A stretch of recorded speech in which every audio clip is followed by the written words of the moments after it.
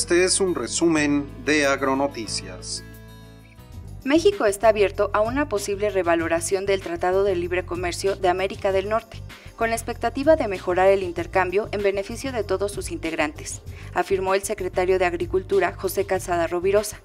Agregó que en el contexto global, México es mejor en la competencia y lo demuestra con un superávit en la balanza comercial agroalimentaria con sus principales socios Estados Unidos y Canadá. De acuerdo con Calzada Rovirosa, en 20 años, México ha ganado prestigio y confianza en los mercados agroalimentarios internacionales. Por ello, dijo, se quiere un mejor tratado comercial, convencidos de que México es superior en la competencia con el esfuerzo de los productores del sector agroalimentario.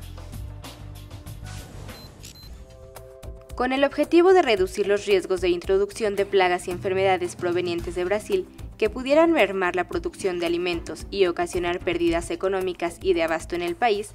la Zagarpa implementó la estrategia Río de Janeiro 2016.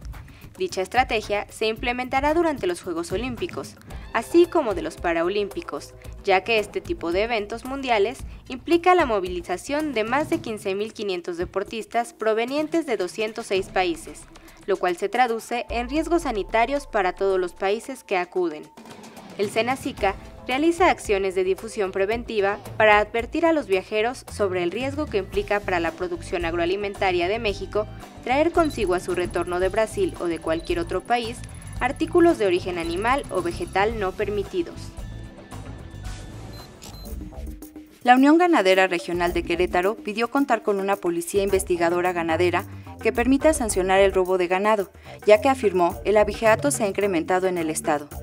consideró que se podría otorgar capacitación a los cuerpos de seguridad para contar con una policía investigadora ganadera, modelo que sería único en el país y que llevaría a la especialización del combate a los delitos.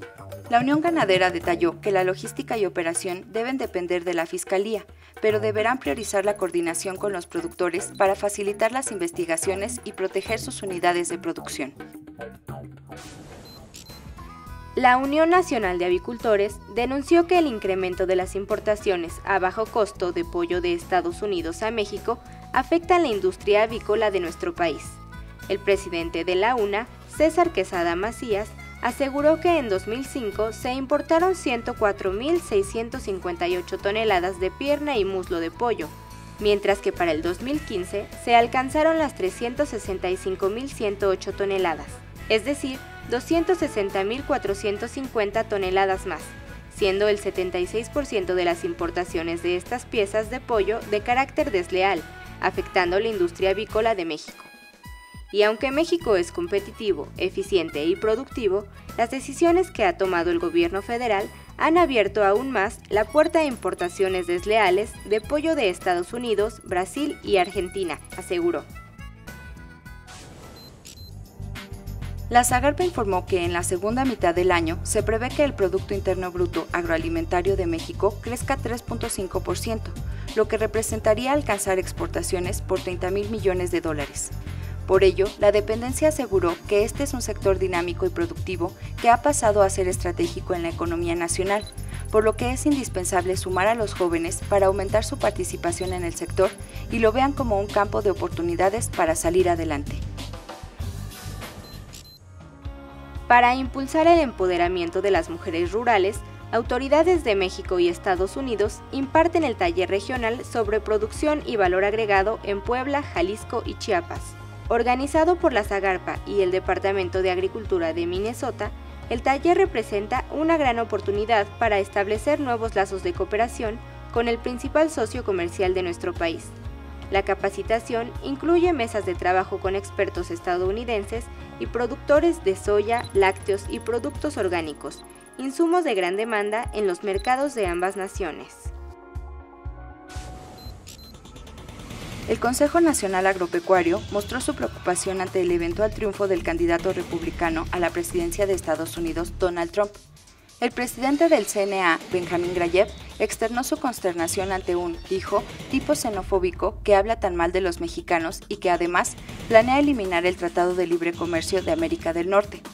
Para la dirigencia del Consejo Nacional Agropecuario, el candidato republicano desconoce el tema, pues si bien el sector agroalimentario mexicano se ha visto beneficiado por este tratado, Estados Unidos también. Ante la inexplicable reducción en la población de abejas en el país, la Comisión Permanente del Congreso solicitó un informe a la Zagarpa sobre la situación que guarda la apicultura nacional y las medidas que se han instrumentado para alentar su producción. Los legisladores piden que se especifique el tipo y uso de pesticidas que se utilizan en la fumigación de plagas para los apiarios o colmenas. En la solicitud elaborada por los legisladores se destaca que en Chihuahua, Durango, Coahuila, Zacatecas y Querétaro miles de insectos no regresan a sus colmenas. En Yucatán y Campeche muchas colonias mueren, incluso han desaparecido apiarios.